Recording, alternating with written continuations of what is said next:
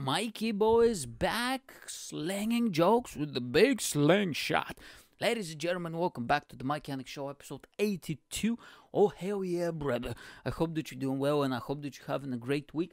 I'm thinking this episode I'm gonna do a little bit of a recap of what is happening with my stand up comedy career, if we can call it that way, because you know I came back into it, you know, after a, a big break, let's just put it that way. But I I didn't want to have a big break, but somebody else was like, listen, you're not going anywhere, handsome fella. You know what I'm saying? You're gonna stay in your house and you're gonna go bonkers for about a year and something. So I did a few gigs. when things reopened, you know, maybe like a few months ago, a few weeks ago, or whatever. So I was thinking, like, you know, uh, let's do a, a, bit of a recap so I can tell you a few stories because, you know, I started filming my little vlogs where I do, you know, the life of a stand up comedian. Check it on the YouTube channel if you haven't. But the videos are not out yet because I want to do a few so I can schedule them so I have one, you know, every week and all that stuff. So, but I'll give you a little behind the scenes. You know, I'll tell you what happened and all that stuff, and I think you'll be interesting, even interesting for you, even if you're not a stand-up comedy fan. You know, uh, you know me, I improvise and I talk a lot of shit, so I think you'll find it interesting. But so anyway, so.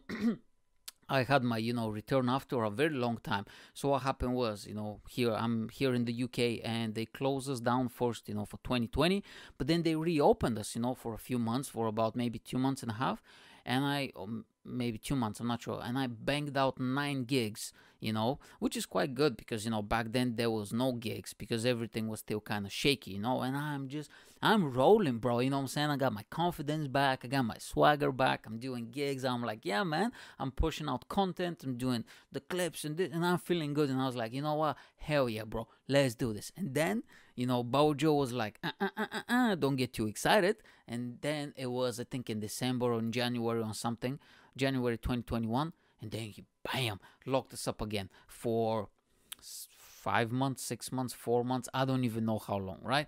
So he locked us up again.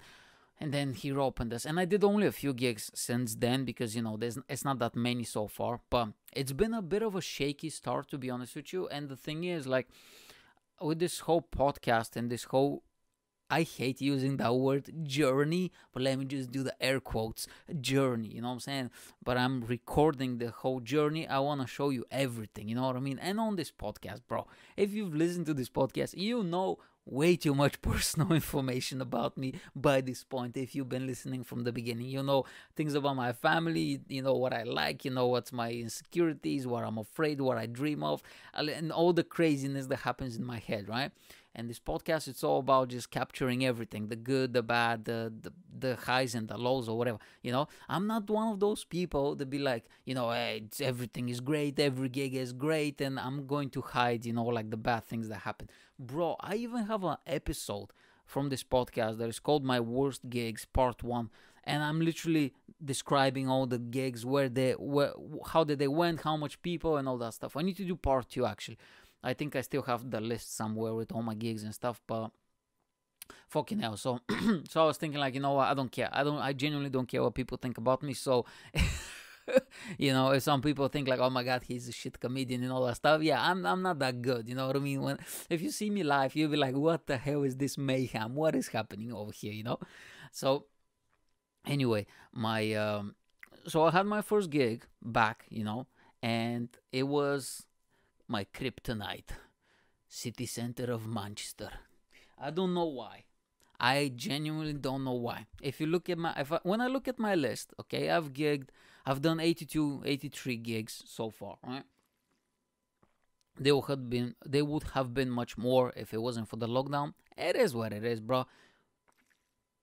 You take it on the chin and you keep moving forward. And so, I've done maybe, maybe 15 or 20 gigs in Manchester. And the funny thing is, half of those gigs, let's say 20 something, right? Half of those gigs, 10, 11 gigs, have been in city center of Manchester. But then the other half are like the outskirts or like little neighborhoods or little towns that are attached to Manchester, but they're not in the city center. And in all of those, all of those, with no exception, you know, the working class or whatever, I do great.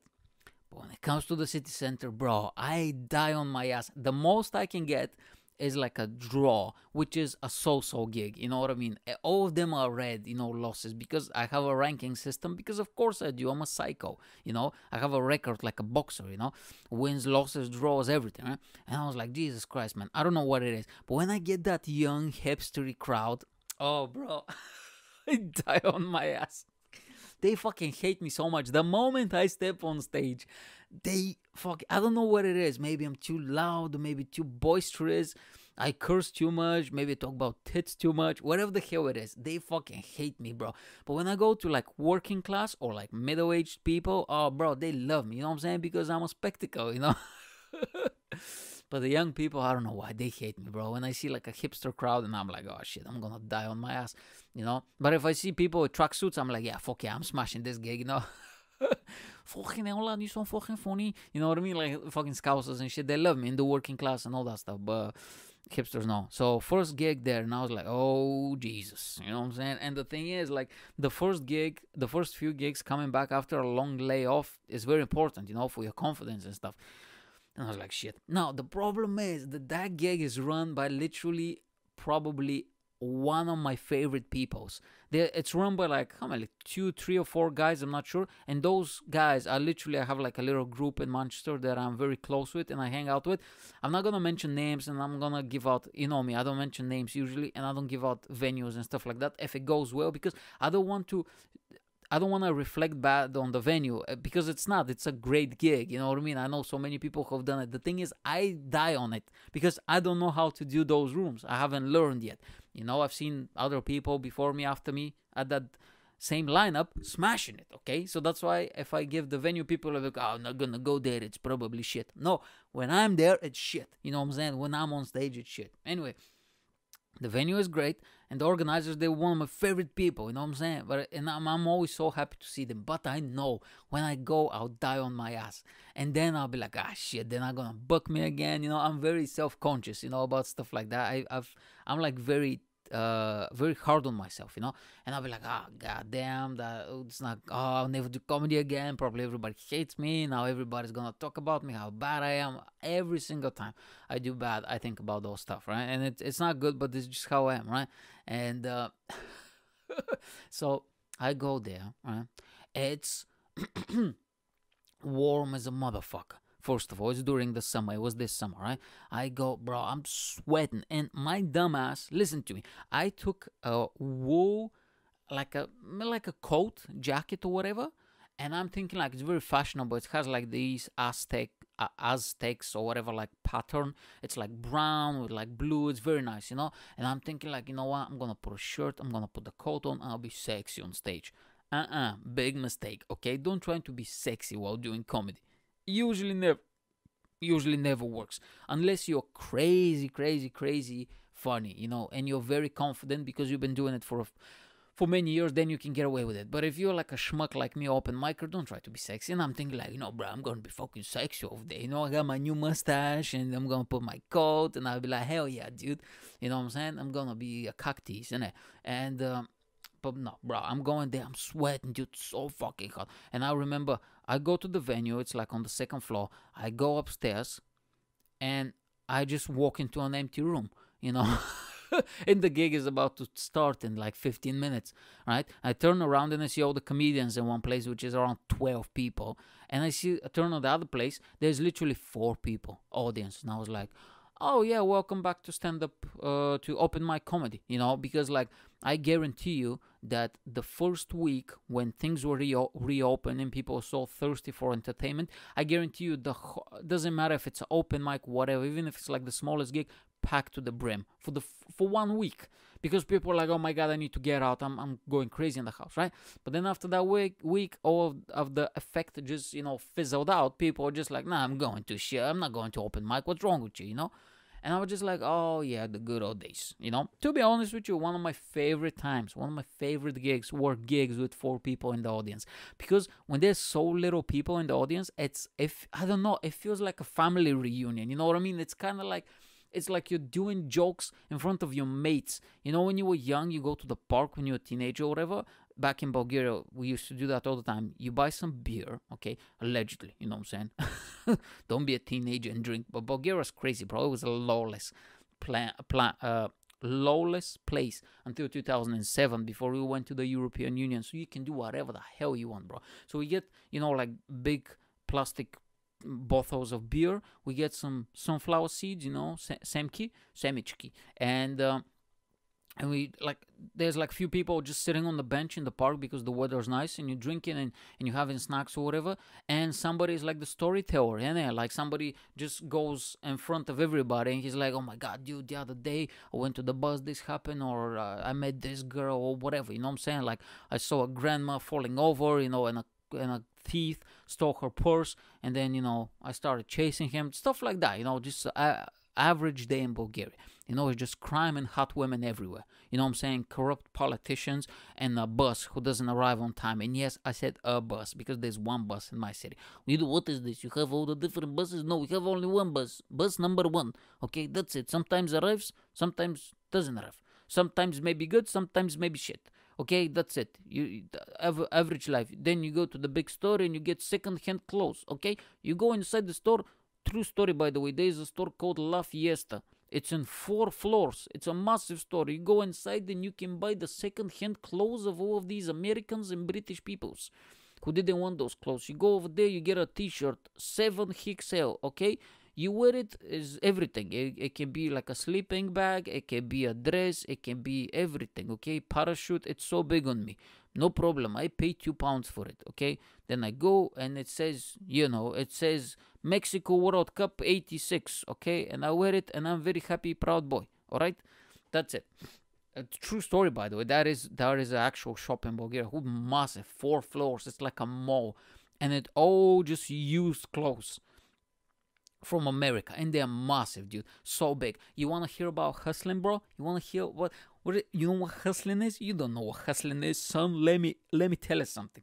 Back in the day when I used to do some online commerce in Bulgaria, fuck yeah, dude. What I used to do is, you want to hear some real hustling? I used to go to the store because the clothes, what Americans do is they usually like they buy shit, so much shit, sometimes they don't even wear it. So you'll find a shitloads of stuff with their tags on them, kind of brand new, barely worn, and everything's original, unlike in Bulgaria where everything is bootleg, you know, Louis Vuitton. No, you know what I'm saying? Like Louis Vuitton misspelled with two V's or whatever, you know? Like fucking everything.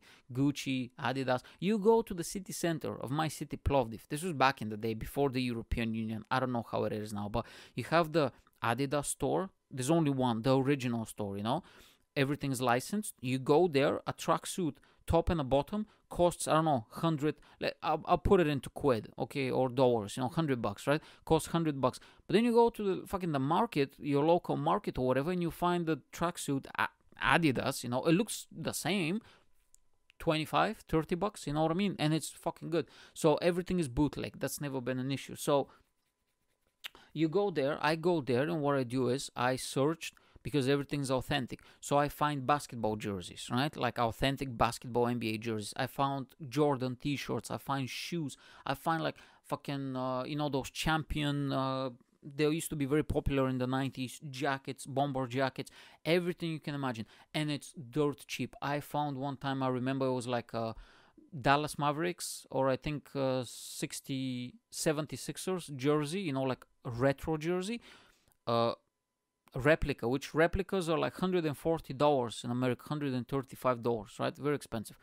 Or a swingman or something like that was called. And I found it for like 8 bucks or 6 bucks or whatever. I bought it and then I sold it on eBay to an American, bro, for like, I think like 70 bucks or something. And I used to do that regularly. This is how I used to make a living back in Bulgaria. Like I didn't have a job, just hustling, you know, when I was a teenager. Just I go there, I buy the shit from them I take it and I resell them to them for shitloads more. You know what I'm saying? Because I bought it dirt cheap. Because the thing is, this is how it works. When the when the stock arrives to the store, it's usually distributed and the prices is put up. They mostly like middle-aged women or grannies or or, or like some uh, teenage girls or whatever, but it's mostly women. So when it comes to the and, and I shop only for the male stuff because when it comes to the male stuff, they didn't know how to price it. So I saw I used to have like a original Jordan uh T-shirt from like his basketball days when he was uh, in college. What's it called? North Carolina or South Carolina? I'm not sure which Carolina was he from, but uh, he played there. Uh, Coat Towers or whatever the hell it's called. Original T-shirt, and I bought it. I, I I wore the fuck out of it. I throw I throw it away, throw it away years ago. But I used to wear the fuck out of it, and I bought it for like four quid or something. I went online. I didn't want to sell it. I want to keep it for me. Online was like 40 bucks. You know what I mean? From America, same shirt. Because they don't know how to value it. Because they're like, oh, it's just a t-shirt. Boom, two, two bucks, you know? But if it's like a female stuff because they know the brands, they know what's what. Oh, this dress is Gucci and they're much more expensive. Guy stuff super cheap, right? So it's like what the fuck, man, you know. And I used to do that all the time, you know. So that's called hustling, ladies and gentlemen, kids. Okay, you might learn something from your uncle Mike. I have no idea, bro. I used to be a savage, man. I don't give a fuck. So about making the money. When I was a teenager, bro, oh, so greedy. When I was a teenager, I mean, I'm a little bit more chilled out now, but back then, just like, just make the money, bro. I don't give a fuck, you know. And um, anyway, I even forgot what the hell was I talking about. Uh, oh yeah, about the gig. I don't know. I completely went off rails again. Um, so I go there and I was like literally four people. Yeah, one of my favorite gigs. There's no more comedy nights there. It's called the Flanagan's Apple. Okay, it's on Mathew Street in Liverpool. If you ever visit Liverpool, you have to go to Mathew Street. That is the place where it's all about the Beatles. So when they were starting out in Liverpool, these are all the clubs that they kind of performed that. And half of these clubs are turned into museums. That's how fucking crazy the Beatles and Big were. You know, that's wild when you think about it, right? So they all started there.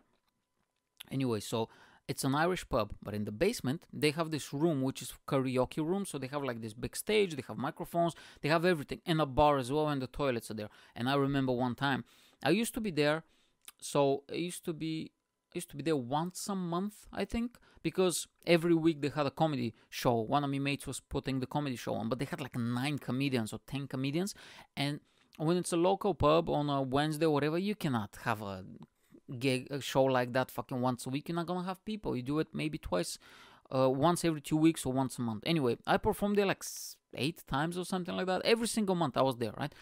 or sometimes even twice a month. It was my favorite place because my mates were organizing it, and then uh, this is the place where I met some of my closest mates in comedy, and this is the reason why I continued doing it, and I was doing it, and this and that, and we hang out after the stuff, and we just talk shit. It was amazing, right? One time we go in there, gig starts at eight, right?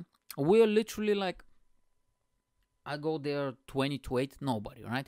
the comedians gather around. We're like nine or ten comedians or whatever, and we're sitting on the table. It's 15 past 8 there's not a single person in, in there except the bartender right and we're joking like should we just do a show for the bartender you know like what the hell anyway and we're talking like you know what? If nobody comes in the next 10 minutes let's fucking let's go to kfc let's have some drinks just catch up and just have like a night out or whatever all the comedians and just have fun. Fuck it. And we're just all getting all stoked and all ready and we were like okay man it's like we're counting down. I'm kind of excited. I was like you know what? Fuck it. We're not gonna perform. I'm in the i'm in a different mindset now you know? And the thing is the toilets for the whole bar are downstairs.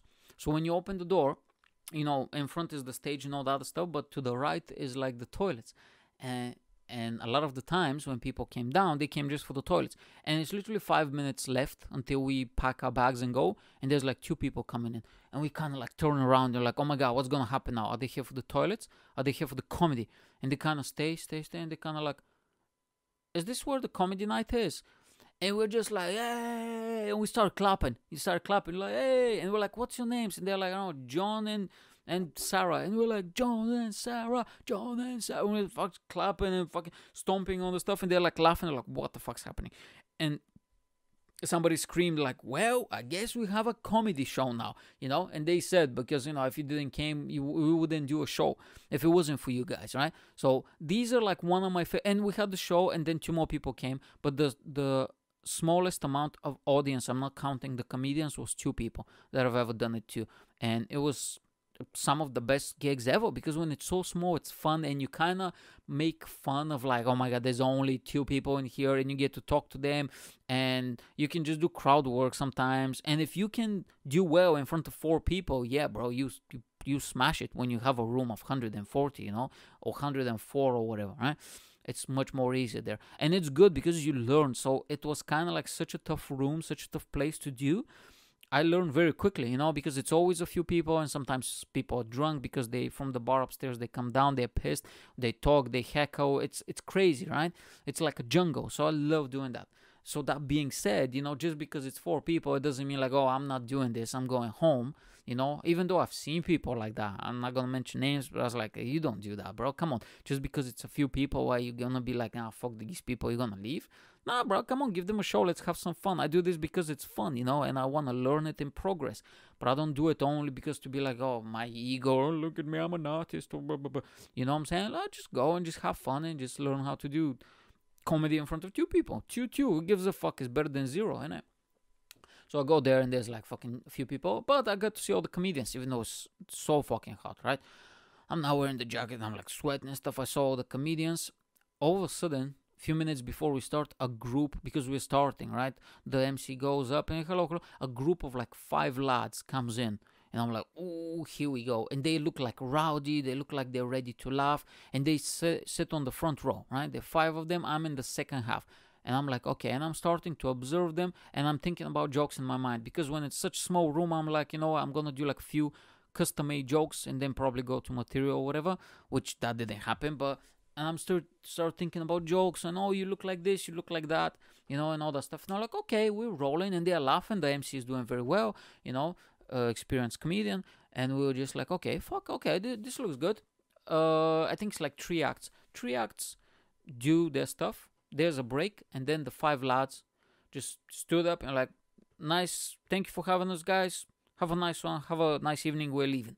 And I was like, what the fuck, bro? And I'm outside. And I was just went outside and I saw them. I was like, oh, you're leaving? What are you doing? They were like, oh, we're leaving, blah, blah, blah. And I was like, oh, okay, fair enough. Then my time comes. I'm think I'm second or something, right? And at this point, it's literally one couple, right? Uh, on the side, at the back are all comedians. On the first table, you have a boy and a girl. And then you have two girls on another table and at the back you have like this one weird guy but I, yeah who's just there by himself he said that he's like a comedian but he was taking notes the whole time and i was like hmm hmm, this is a bit sketchy. Like, what's happening here? Are you like a Eastern European? Are you like a Western capitalist spy? What are you doing here? Is your name Peter? Hmm? Are you? Is your name Joseph? Is your name Ivan? You know, I think he's spy. And I was like, oh, that's very suspicious. You know, like taking notes while being on a comedy show. That that's that's not good, man. You know what I'm saying? And I was like, okay, fair enough. Then I go on stage, bro. Let me tell you something. I died on my ass so badly. It was so bad, like literally so bad. The only laugh I got, okay, was, and you'll see it in the video, is midway. I just I just said uh, something, you know, like, oh, you're sitting there and you're having the time of your life. That is like a part of the bit. And then I kind of pause and I said, like I'm having now. This is amazing. You're great. Yeah, 12 comedians and two people. Fuck yeah. And this was the, uh, and this is going on YouTube. This is the only thing that got a laugh. And even I said, oh, come on, this is the only thing that's going to get a fucking laugh, right? And it's so frustrating because it's a set that I know that has, it has worked. You know, I've done it so many times before and I was like, I'm gonna do something secure because you know, like it's my comeback and all that stuff, right?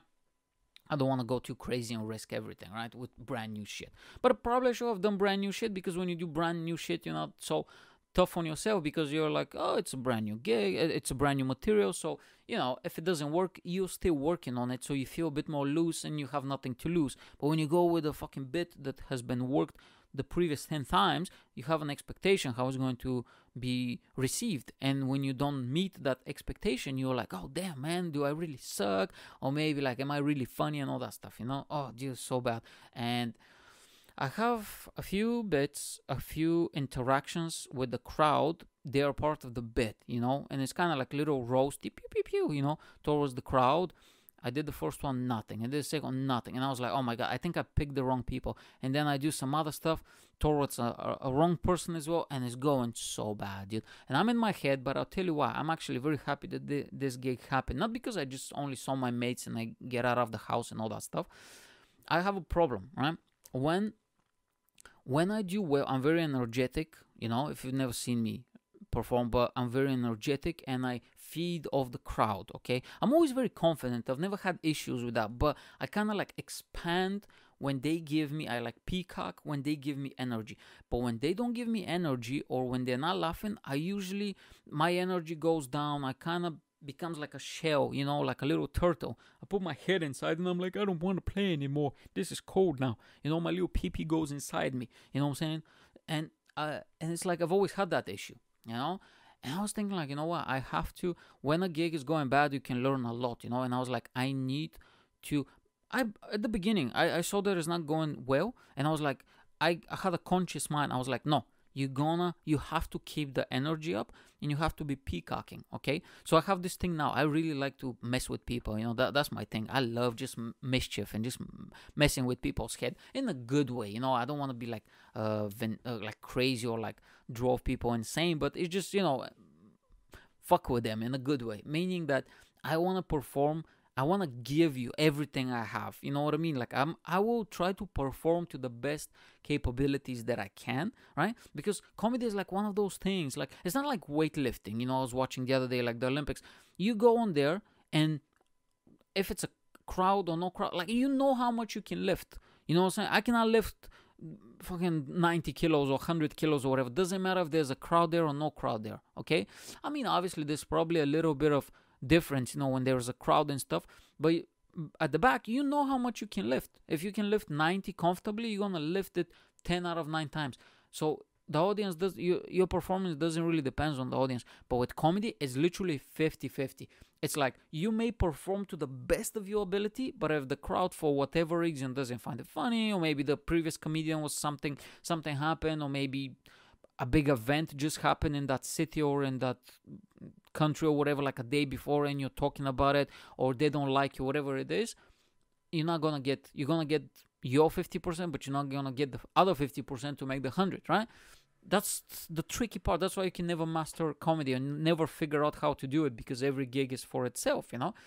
And i was like i'm gonna keep the energy up. So i want to give you the everything i have okay? Everything i have. So when i tell you then thank you guys the rest of the show I'll give you everything i want to make you feel kind of like man i think like he gave us so much and i'm just sitting here being a, you know what i mean a fucking sour little bitch you know what i mean? And i want to make you feel to be like man i feel a little bit bad you know? Because i've been in situations you know watching comedians and stuff and they're like, man, they perform very well, you know. And maybe I didn't because you know I'm in my head or I'm going over my material, and I'm like, fuck, I should have showed more support because that's really good, and he she performed so fucking well, you know. So that's my goal. I want to make you feel like shit. some people come some comedians want to make you feel happy and laughter no i want to make you feel guilty and bad okay that's my unique selling point that's going to be on all the leaflets Mike Yanek making you feel bad and miserable since 2019 okay when i started comedy mid 2019 anyway so and I was like, I even addressed it. I was like, you know what? Because I was at the last bit, the last like few minutes, and I was like, okay, you're not giving me energy. Okay, I'm gonna give you even more energy, Manchester. And I and I proper deliver it, and I I played it. I did all the faces, the fucking movements. I'm sweating everything, you know. And then at the end, thank you guys. Enjoy the rest of the show. And I'm lifting my stuff, and they're literally they don't they just quiet. And somebody at the back slow clapping. and I was like, oh my god, that's so bizarre, you know. And then I felt bad, you know. I kind of brushed it off right after, but then I felt so bad, you know, in the evening. But it is what it is, you know. But then the next gig, you know, it's like a few days later, I wanna I want to tell you about because that gig was so fucking crazy. And again, everything is captured. Okay, everything is captured. You can see it on the YouTube channel in the next few weeks. They're gonna be popping up, but I have previous ones, so you can go and watch the previous ones. And uh, that gig. So i'm gonna because i went i went better. So i'm just gonna mention the venue right? It was called the party pad you know in liverpool. And apparently that is the craziest pad i've ever seen. Club or pub or whatever. Go you go inside and it's like so colorful so much shit. Crazy atmosphere everywhere okay? Right in front is the fake taxi Have you if you've never seen the fake taxi, okay? Because I mentioned it to a few people, they was like, "Oh, fake taxi, what is this?" And I was like, "This is where birds get shagged." And when I say birds, I don't mean actual birds. You know what I'm saying? Because we probably have some American viewers, and they're gonna be thinking like, "What the hell? What birds?" No, no, this is how we call women for some bizarre reason in this country, birds. But this is the place where fit women get shagged at the uh, at the back seat of a cab, okay? And it's called fake taxi. It's very popular, right? The actual fake taxi. And I talked to one of the guys who knew what's happening, and he said that there's a few of them, you know, and uh, this is one of them. But it's authentic, and the best part was there was a dent in the front. You know what I'm saying? And in the front there was a dent because there was a woman with her butt cheeks there, and somebody was giving us stabbing. I mean, how can you not love this city? You know what I'm saying? Liverpool is amazing, right? And inside there's like bumping cards. There's like you know, obviously not working, but there's like mannequins, body parts everywhere, mannequins. You know, like colored mannequins spray painted sorry mannequins all over the place there's like signs there's like stickers posters insane shit right disco lights crazy like a uh, like a stage for karaoke everything right and he told me that the guy who was like uh, the fake taxi guy apparently there's two or three of them the actual actor, you know, he owns that place. And I was like, oh my fucking god, I got so starstruck. And he even told me who he was, but because there were two people with the kind of similar description, I didn't really know who exactly, but I got very starstruck. And I think because the gig was at the back room, I did it there, and I think that he that was the guy who he, I think he was actually in the room, and I roasted him, bro. I'm so happy. I should have went to him. I didn't know if that was him, but I should have went to him and be like, I'm a, I'm a great fan. I'm such a fan of your work, man. Oh my god, all the things you've done for me. you know what I'm saying? I've jerked it off so many times to your videos. Oh man, I want to thank you so much. You know what I'm saying? And a massive piece, by the way. This guy has a fucking. He's packing a hammer. You know what I mean? These poor ladies getting fucking impaled over there. He's like Vlad the Impaler, you know what I'm saying? Over there with that meat hammer. And uh, so apparently he was the owner. And uh, it was a funky place, man. A funky place. The back room, we actually performed uh, at a. There was a motorboat. That was the stage. The stage was inside of a small two people motorboat with like fucking uh, like you can shag in there. It was like shaggy carpets and inside and fucking little pillows everywhere. You know what I'm saying? Use the condoms and shit. No, I'm only joking. But you know, and uh, there was like this nice decoration everywhere, and crowd was so fucking crazy, bro. Oh my god! I'm preparing new material, right? I have 10 minutes and I have six minutes of all new material, and I'm thinking I'm gonna go there and I'm preparing in my head, and I'm gonna do this bit, then I'm gonna do that bit, then I'm gonna do this long bit, and there is this part and that part. Uh-uh, bro. They were so fucking crazy and pissed. Okay, it's a super small room. So when you're on stage, the people are literally in front of you. Okay, there's like maybe 20 people inside, low ceiling, super small room. So the the laughter has no place to go, which is the perfect perfect thing. Small, low ceilings are perfect for comedy shows, you know, and uh, just packed in there like sardines, you know. I go in there. The the com- I was in the second half, so the comedian before me he did so well. But his style, he quite often he does crowd work uh, because I've gigged with him before, and I've actually followed him a few times. And very difficult act to follow, you know. He's very good, and I'm like, oh fuck, he's crushing it, bro. He's destroying, right? And I'm like, Jesus Christ, man. And when because he was just like, yeah, let me just do five minutes or something like that. And he was just like okay i think i need to go now. And the whole audience like no stay no. We want more we want more. And that is like if you're following that that is the worst thing that can happen. You know it's either if the act performed so well or if it or if he he she or whatever performed so badly that is like the worst thing that can happen. Because if the act has bombed you know performed so badly then you have to like the crowd is like mad and they're kind of like low energy and you have to lift them up but if they if if he's done so fucking good like that guy, it's kind of like oh damn, you gotta be better than him or at least at the same level. If you come out there like fucking half and half, uh uh-uh, uh, they're gonna eat your life, right? And they're all screaming, no, but we want more, please stay. And I'm like, Jesus Christ, man, what the fuck am I gonna do? They introduce me, and I, as I'm going, because there's like some steps and stuff, I'm kind of trying to balancing, bal- balance myself. Midway i'm like you know what? I'm not doing any of the material. Like the set i'll probably do some but let's just start roasting them. And i go on stage and i was like you want to be roasted? You want to be roasted? But the thing is because it was my second gig like my mind i'm not as sharp you know? I need to i need to gig more often because I, am not in the groove. So kind of i even forgot one the word was lightweight one of the jokes was like that was the first word you look like her and then i'm not gonna spoil it but i was like hold on what's the word? And i i literally take like three seconds you know which is uh, age you know it's fucking ages. And i was like oh oh what's the word? And i see them they're just like waiting to for me for the punchline. I was like ah lightweight and then i said it you know and it went well. And then i started i was throwing pillows at them. It's fucking crazy. There was like this old lady heckling the whole time. I was making fun of her. There was like some hot Uh, young chicks. I said to the one like, "Oh, you look like you you're hot, but you look like you have issues." She lost her fucking shit. Everybody was laughing. I was roasting her. You know, when I finished the gig, that's the thing. I'm a, I'm a nice guy. You know what I mean? Even though I'm a douchebag on stage or everything or on the podcast, I say wild shit, but I'm a nice guy. I feel bad, you know, if I insult somebody. So I went after after that and I was like, oh, sorry, mate. It's just, you know, just, uh, she was still mad. Oh, you calling me have issues? But, oh, no fairness, man. She, she was all fucking pissed that she half naked, you know. I was like, well, you do have issues. You look like you have ones, but it's okay. It's not my place to judge, you know. I, I apologize apologized, but she was still mad. And then I needed to go to catch the bus. But that was like a fun gig, you know, that was crazy. And um, I had the other one, which is the other one. It was a few days ago in the Irish Center. Yeah, that was great. You're gonna see a clip of that as well. Uh, I'm gonna tell you about this one in a future episode because I'm running out of time. But that's about it. It's been a shaky start for good old Mikey Boy. But I was like, you know what? Let's do something different this episode. Let me just share what's happening uh, on on my end, and that's about it, ladies and gentlemen. I hope you enjoyed the show. Hope that you find my insights, uh, not my insights, my uh, inside inside baseball, like they say, interesting. And I'll see you next week at the Yanek Show next Wednesday or whenever you watch this. Okay, have a nice day. Bye.